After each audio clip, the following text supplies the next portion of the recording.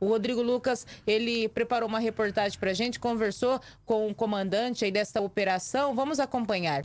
Uma operação que está acontecendo em todo o estado do Mato Grosso do Sul, aliás, em todo o Brasil, e Três Lagoas não fica de fora. Eu estou aqui com o capitão W. Luiz para falar um pouquinho mais sobre essa operação. Capitão, conta pra gente como está sendo essa operação especificamente para o nosso município aqui de Três Lagoas.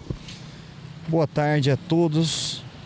Pois bem, em relação aqui aos nossos munícipes três lagoenses, a Polícia Militar, ela nesse momento, nesse último sábado, ela desempenhou essa operação com foco exclusivo de combater a exploração sexual de crianças e adolescentes.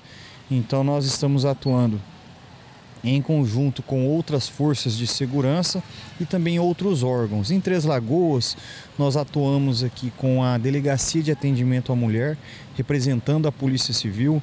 Nós atuamos com o CREAS, com o Conselho Tutelar e com a pasta de fiscalização e posturas, para que nós visitássemos locais onde, por meio de estudo, levantamento de, de inteligência, nós conseguíssemos talvez é, nos aproximarmos do flagrante desse tipo de crime, né? A exploração sexual de crianças e adolescentes, que infelizmente pode ser uma realidade aí na nossa sociedade. Nós estamos, são órgãos atuando em conjunto, não somente no município de, de Três Lagoas, mas também em todo, em todo o estado de Mato Grosso do Sul e em todo o país. É uma operação que está ocorrendo desde o dia 2 de maio. Importante a gente ressaltar que nós estamos no mês é, alusivo a isso, né? Mês de maio, que é o mês do maio laranja, né? E a Polícia Militar e as forças policiais combatendo esse tipo de ação aqui diminui 100% né, a ação desses indivíduos ou até mesmo a intenção desses indivíduos em praticar esse tipo de ilícito. Exatamente. O policiamento preventivo, ele é muito importante para a sociedade, também para essa modalidade criminosa.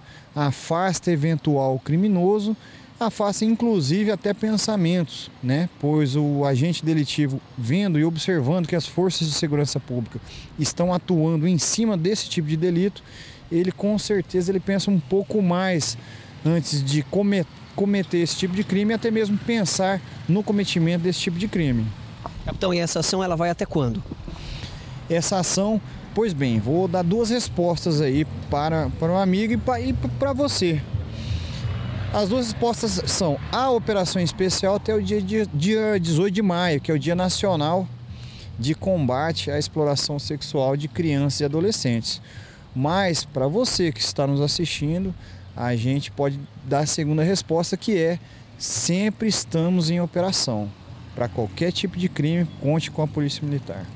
Tá certo, capitão. Muito obrigado pelas suas informações. Então é isso. A Polícia Militar atuando em conjunto aqui eh, no município de Três Lagoas para garantir, claro, a segurança da população.